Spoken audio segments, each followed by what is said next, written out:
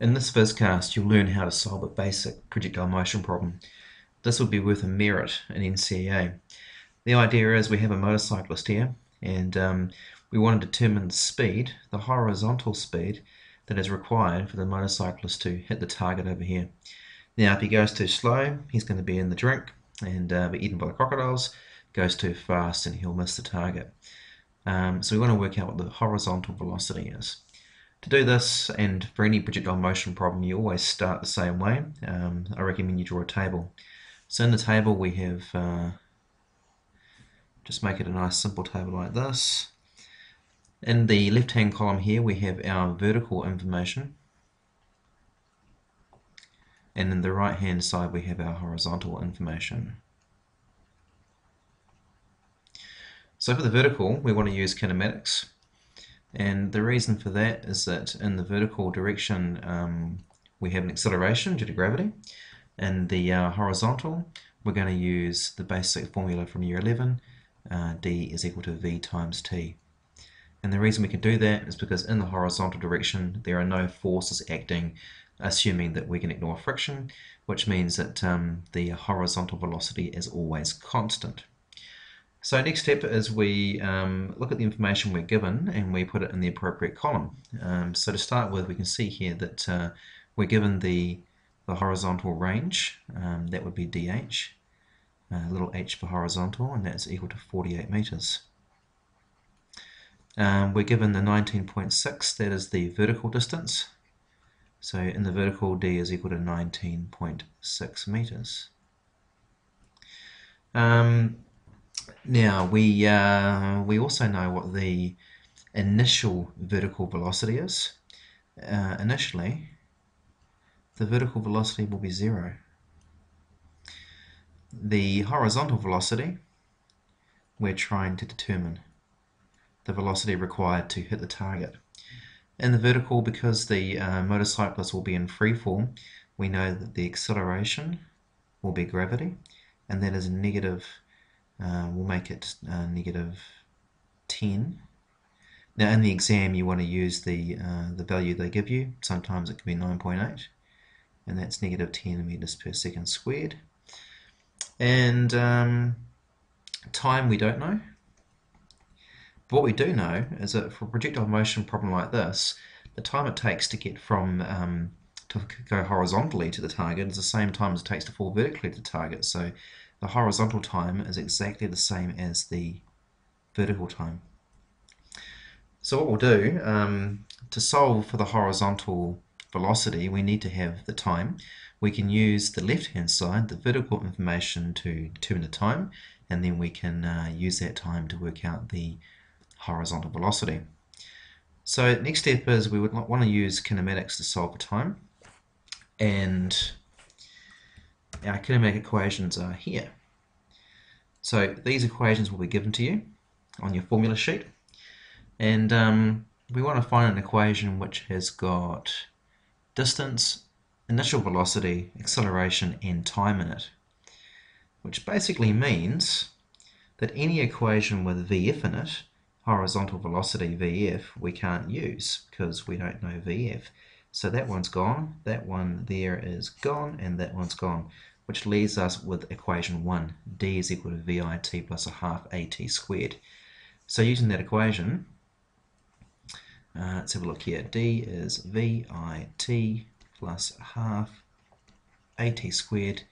The vertical distance is 19.6 meters. Now the initial velocity is 0, and 0 times t is just 0, so 0 plus a half times 10 times time squared. At this point you could just put it into solver on your calculator. Um, I'm going to do this by hand. So 19.6 is 5t squared, which means that 19.6 divided by 5 is t squared, which means that t will be the square root of 19.6 divided by 5.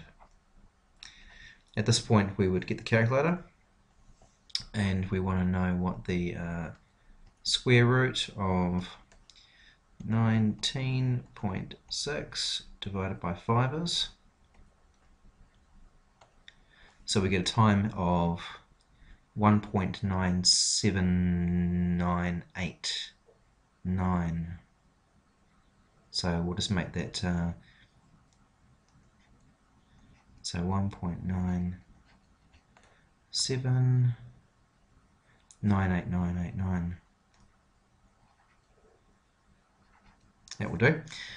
Okay, because the times are the same for both the horizontal and the vertical, that means that this time here, 1.9799, is the same as this time here, 1.9799. This now becomes quite simple because we've now got two out of the three things we need. The, uh, the final step is to say, well, the uh, d is v times t, which means that the horizontal velocity will be distance divided by time. Putting in numbers, the horizontal velocity will be 48 meters divided by a time of 1.9799. Come back to our calculator. So we're going to go 48 divided by the previous answer, which gives us a time of, sorry, a horizontal velocity of 24.24. Now, we're going to round the correct number of significant figures.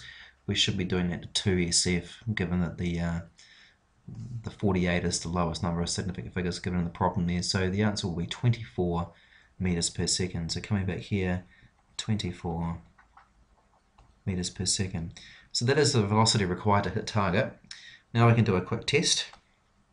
Okay, so we crank up our speed to 24 meters per second. Actually, we'll try a lower speed first so you can see what happens. Okay, so at 20 meters per second. Yep, down to by the crocodiles. Move it up to 24 meters per second and we should safely hit the target.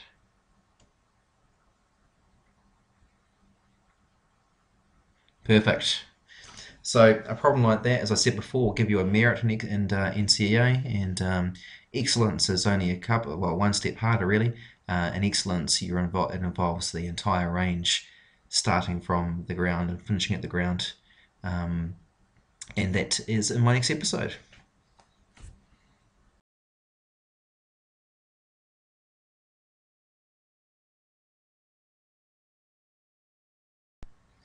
Okay, so welcome to the first uh, bloopers reel um, where I made mistakes in my video. Uh, this is only a minor, but I thought it's important to point it out to you because um, it will make a difference in other problems. Um, so the issue is here that when I told you that the vertical distance was 19.6, it should actually be negative 19.6, and that's because it's going down. Um, and in addition to that, the acceleration here is also negative, but I didn't pick that up in this equation here, which means that at this point here, that should be a negative, that should be a negative over here, negative 10, which makes that negative 19.6, that negative 5t squared. In the end, as you can see, the negatives will cancel out and you'll still get the same time of 1.9799 seconds. Uh, but as I said before, it is important that you are aware of this and um, do it properly in future.